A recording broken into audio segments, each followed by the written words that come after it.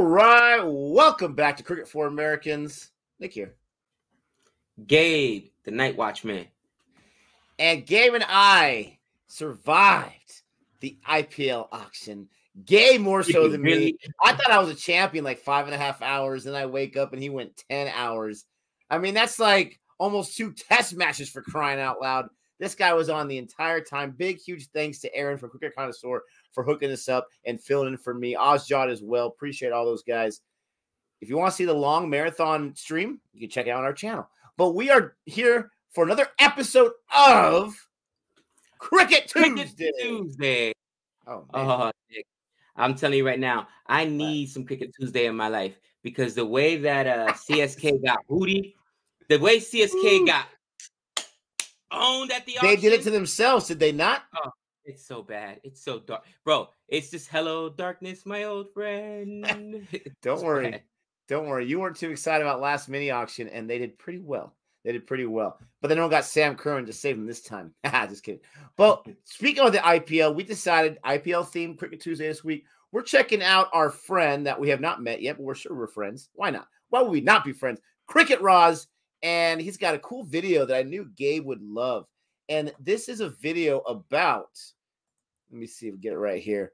The possibility of MS Dhoni being the captain of the Mumbai Indians. I don't know if this is the inception of the IPL. I don't know if there was some point maybe with auction. I don't want to speculate. I want to watch the video, learn about it.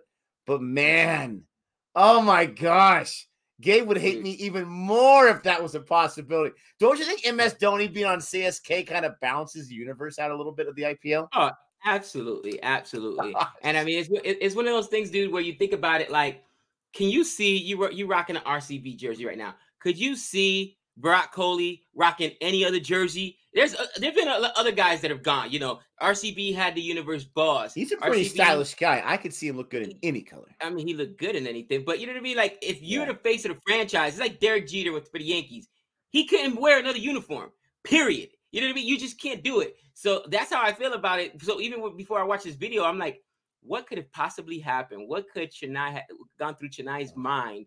I guess why I can't wait the, to watch it. I can't wait to watch. It, it, I'm sure it has something to do with money or some some something silly like that. And you're just like, I'm glad you guys got it right. I'm I'm sure they were trying to plan beforehand for the Ga- the gay brand in the future, ten years in the future, once he becomes a fan. We'll have to watch this. Go ahead and check out Cricket Raaz. He has two channels, one in English, one in I'm assuming Hindi. I don't really know actually, but in his native tongue. And check out his video. Support his channel. We love his storytelling narrations. Um, he's like the Indian Morgan Freeman, if I can say that for crying out loud, because this guy's got a beautiful voice. And uh, we're gonna check this out. You ready for this? Morgan Freeman? No, no, no, no, no. I, I, I think honestly, wow, it's like it, it's like I, I, would say Ken Burns. It's like watching his videos, like watching a Ken Burns documentary. You know what I mean, dude? It's just a beautiful thing. Beautiful but I love thing. the voice. I mean, Morgan Freeman just. Nice come on. I watched this video real quick, not even related at all. Morgan Freeman was narrating this prison break that happened in 2015.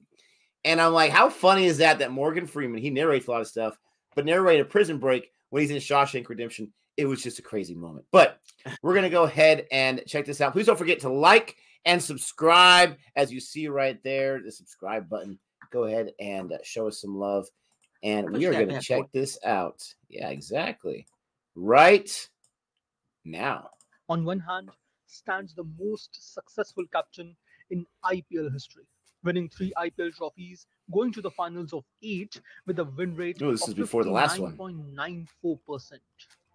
On the other hand, stands Mumbai Indians, with five IPL wins, six finals appearances, with a total win rate of 58.93%. Ooh, so close. Now you can imagine what could have happened if this captain captained this side.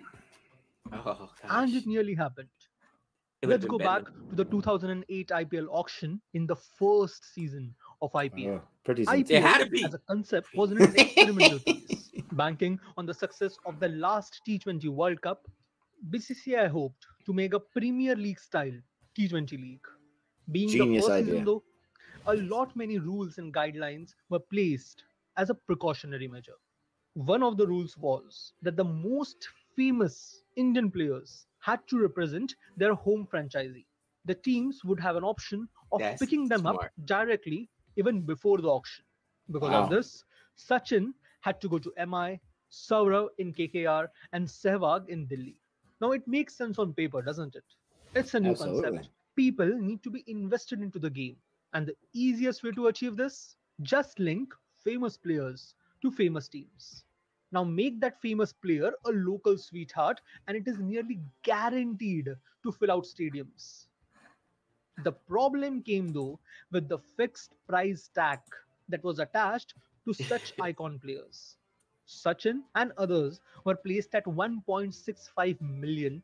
Now there is absolutely no doubt in my mind that even without the price tag, the MI management would have made sure that Sachin would play for Mumbai.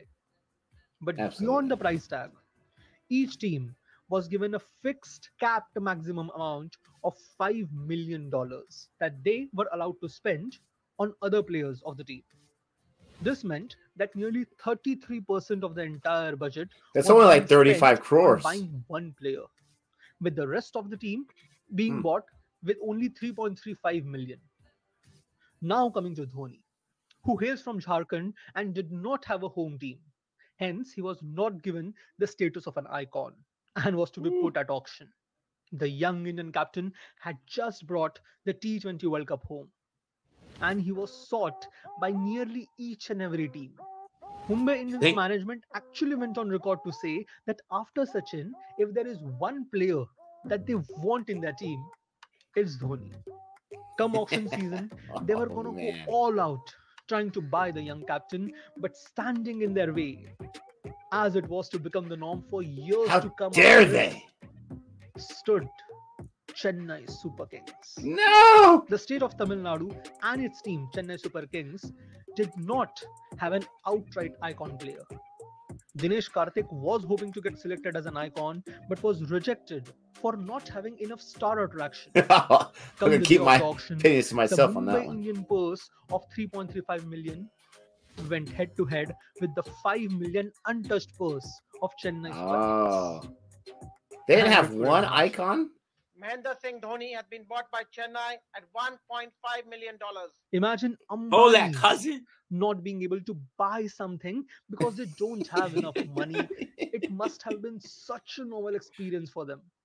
So, Dhoni was brought for a whopping 1.5 million, the highest in that auction. And the future of these two teams was set to be forever in deadlock. The funny thing is, just the next year, IPL had to increase the maximum purse by 2 million on the back of repeated complaints of lack of funds by team owners.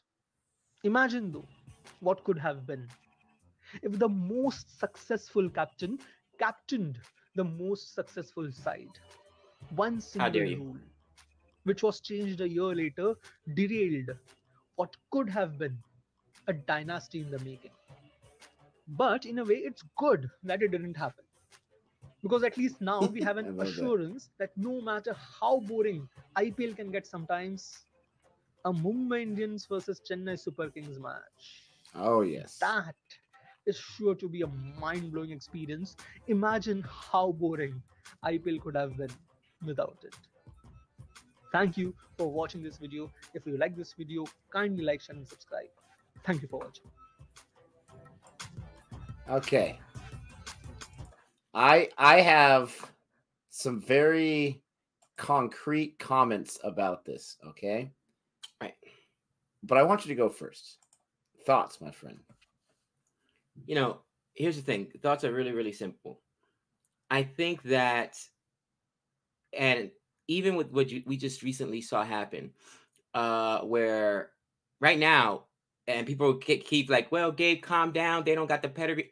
LSG is the strongest team on paper. They've got a squad, and they're brand new. But what I think the IPL does, Nick, is that they're genius at marketing.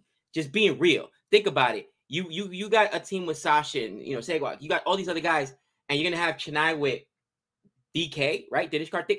What they do is put a balanced product on that and uh, on there. And we've seen this where even the worst team, you know, we've been watching IPL now two seasons. All right, that'll be our third season.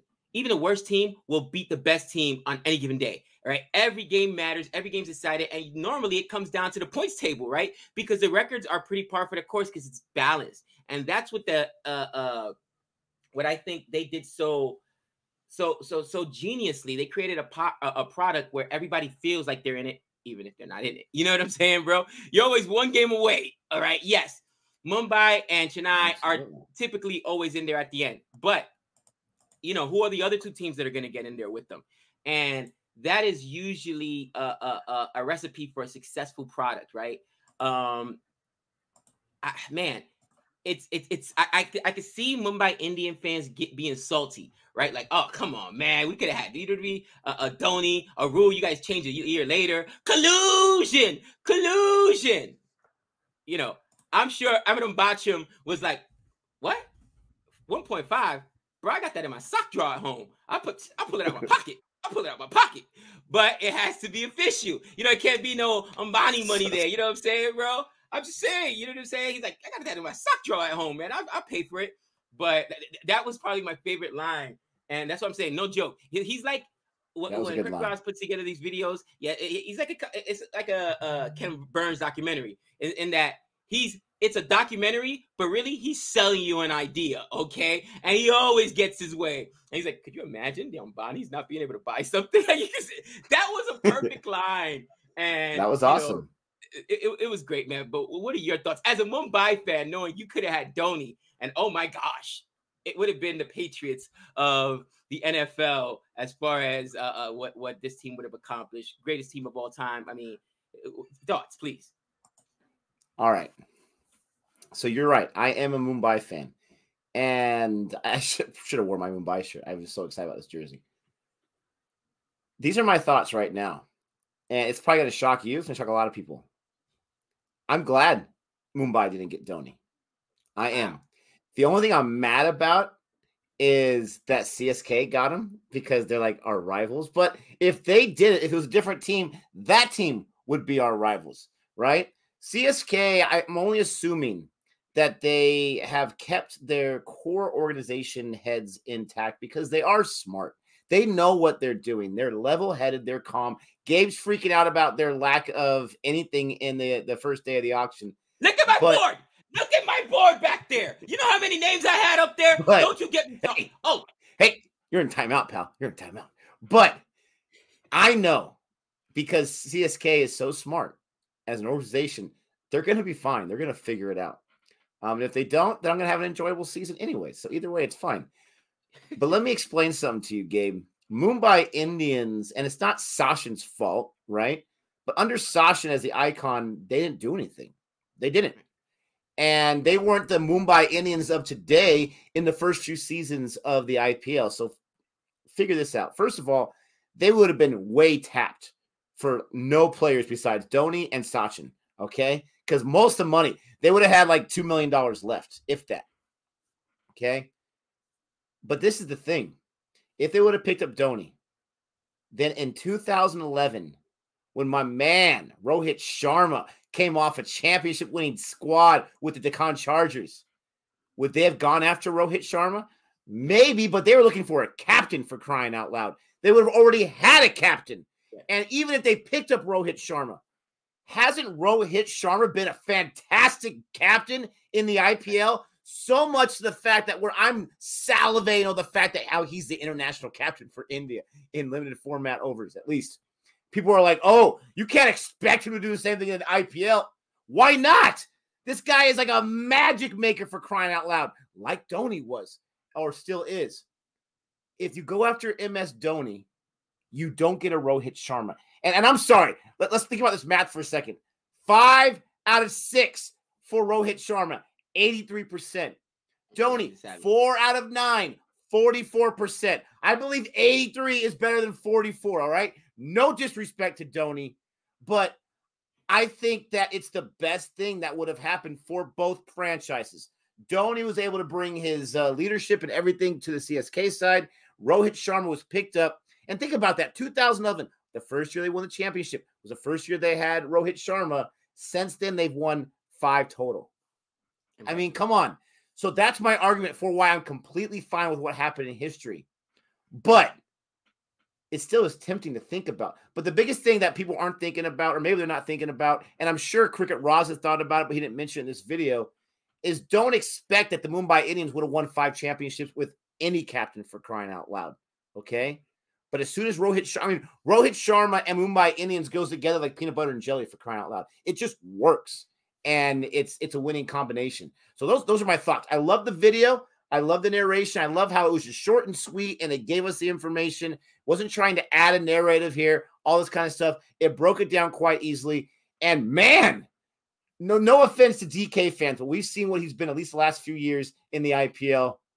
Dodged a bullet there. We said it at the same time. They dodge oh, a bullet. They dodge a bullet. Well, this was a great video. Thank you so much, Cricket Raaz, for providing that for us. We know you can't wait for us to react to it. We know it. Thank you so much for getting us even more excited for the IPL after the auction. Please don't forget, ladies and gentlemen, to like and subscribe. Let us know what you want us to react to next on Cricket Tuesday. And until next time. Dhoni!